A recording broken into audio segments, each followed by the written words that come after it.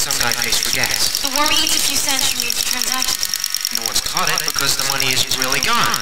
It's just data being shifted around. And when the worm's ready, it zips out with the money and erases its track. Joey got cut off before he got to that part. Check it out. By this point, it's already running at. Twice the speed is when it started. And at this rate, it ends its run in Two days. Judging by this segment alone, it's already eaten about 21.8 million bucks, man. Whoever wrote this